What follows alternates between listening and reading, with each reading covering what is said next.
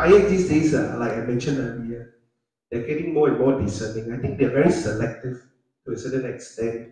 They look at things like, uh, I would say, uh, attributes that will add value, MRT, mixed development, proximity to amenities. These are things that, if you look at last year, the launches that did exceptionally well, uh, tendency is like they have a mixed development value.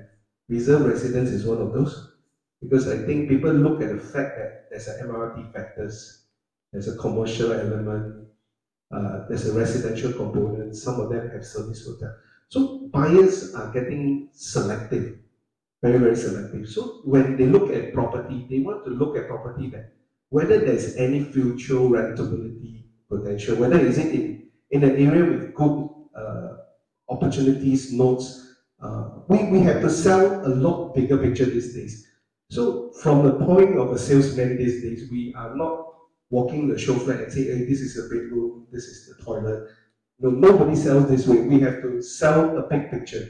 We have to sell a growth story. I think buyers, uh, they like to hear growth stories. I think Great, Greater Southern Waterfront is one story. I mean, where we are exactly, this show flats, the site, Hillshore, has a growth story of a, uh, NUS Cambridge Park. They like to hear such stories um, whether you, you, want to sell a Lentor potential or Lentor site, and we know that government launched a lot of Lentor sites recently. Why out the blue governments are, are putting seven plots in the north for no reason?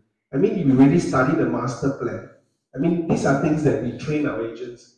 You're going to read the DMP 2025. Um, the government is focusing on five corridors I think the north-south corridor is one corridor that government is expanding. So we have to sell a future growth story. We have to sell what is the government direction is, what are the government plans are, and how does that this development actually falls into a government's specific planning guidelines and all that. So, so these are things that no longer are agents going up on the ground um, selling you, oh, this is a two bed one bath, uh, you know, this comes with an ensuite but these are the old ways of selling anymore. So we always start with an educational background to educate the consumer. What are the potential? What are the potential leases? So usually when my guys go out, they will take this is the project. They'll take a one kilometer radius and see what is the highest achievable yield and what's the rentability of this development before we start marketing it. So I guess with 40 launches these days, I think uh, to really find the USP is, is really testing the developers to the extreme. So I guess uh, look out for things with good attributes is something that I would advise most clients to look at.